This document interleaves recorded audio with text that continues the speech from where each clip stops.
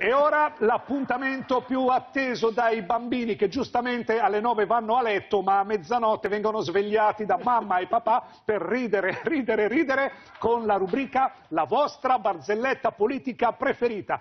Tante le vostre segnalazioni e la eh, prima letterina di questa settimana arriva dal senatore a vita Raffaele Malagò che dice eh, ciao a tutti, sono qui in Senato a vita e mi annoio, così vi mando la mia barzelletta sul capogruppo di Forza Italia Brunetta. Leggiamola.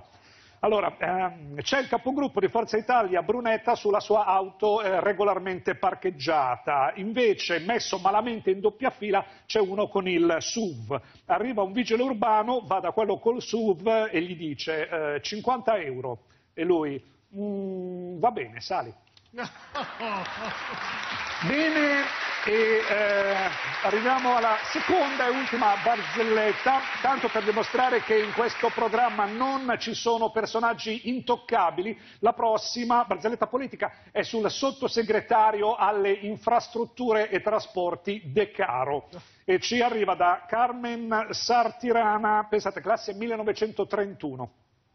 Allora, eh, c'è il sottosegretario alle infrastrutture e trasporti De Caro che porta a spasso il cane ai eh, giardinetti. Una signora, anche lei col cane, gli fa pensi che il mio Fuffi aveva il vizio di attaccare qualsiasi persona in bicicletta.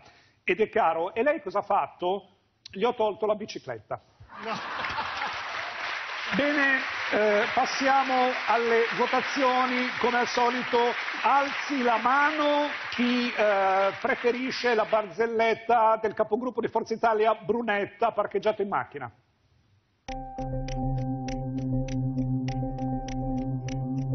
Una, due, tre, quattro, cinque, sei, sette, otto, nove, dieci, undici, dodici. D'accordo? 14%. Giù le mani e ora si vota, e mi raccomando chi ha votato per una non voti per l'altra, per la barzelletta sul sottosegretario alle infrastrutture e trasporti De Caro eh, ai giardinetti. Vediamo.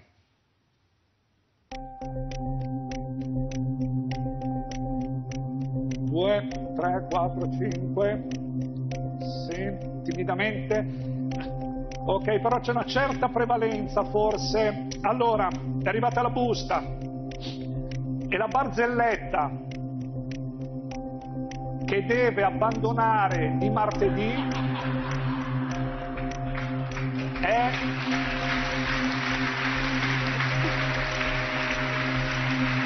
la barzelletta del capogruppo di Forza Italia Brunetta. Comunque questo è stato un bellissimo percorso e lo salutiamo.